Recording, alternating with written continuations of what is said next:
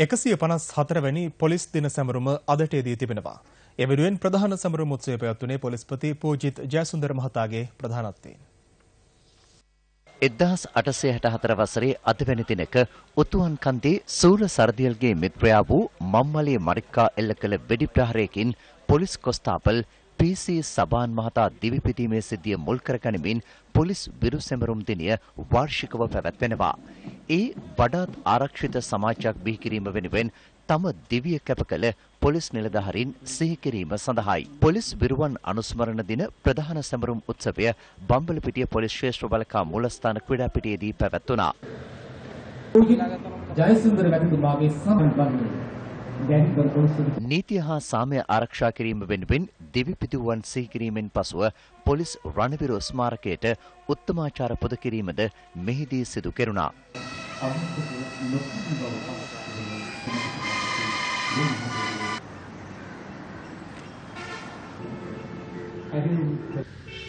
ස්වකීය රාජකාරී ඉටු කිරීමට යාමේදී සබහන් නිලධාරියාගේ සිට අද දක්වා පොලිස් නිලධාරීන් 3118 දෙනෙක් වීර විප්‍රවාන්විතව තම ජීවිත පරිත්‍යාග කළ බව ගෞරවාන්විතව සිහිපත් කරන අතර පොලිස් නිලධාරීන්ගේ 1529 දෙනෙක් ආබාධිතව ඇති අතර නිලධාරීන් 15 දෙනෙක් පූර්ණ අකර්මණ්‍ය තත්ත්වයකට පත් ඇති බවද මේ මොහොතේදී සිහිපත් කළ යුතුයි. මෙසේ නීතිය ආධිපත්‍ය සුරක්ෂිත කර ජන ජීවිතයේ සාමකාමීත්වය ආරක්ෂා කිරීමට කැප වූ පොලිස් විරුවන් වෙනුවෙන් සහෝදයේ පව් වෙනුවෙන් සුබ සාධක කාර්යයන් රසදියත් කරතුද.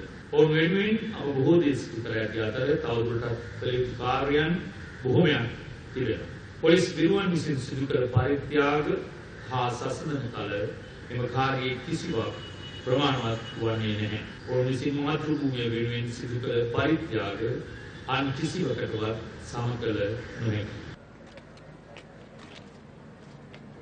පොලිස් දිනය නම් කිරීමට මුල් වූ වෙඩි ප්‍රහාරයකින් මියගිය පොලිස් කොස්තාපල් පී.සී. සබහන් මහතා සිහිපත් කරමින් ඉදිකර ඇති මාවනැල්ලේ ස්මාරකය ඉදිරිපිටද අද පොලිස් විරුදින උත්සවයක් පැවැත්වුණා.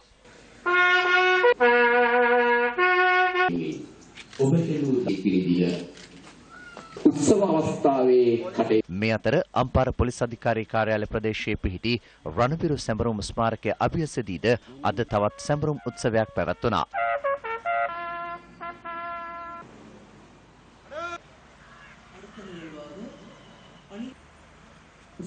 මෙහිදී එදහස් නමසය අනුව වර්ෂයේ ප්‍රස්ථවාදීන් විසින් සමූල ඝාතනය කළ පොලිස් නිලධහරින් හයසය දෙනා සිහිපත් කෙරුණා.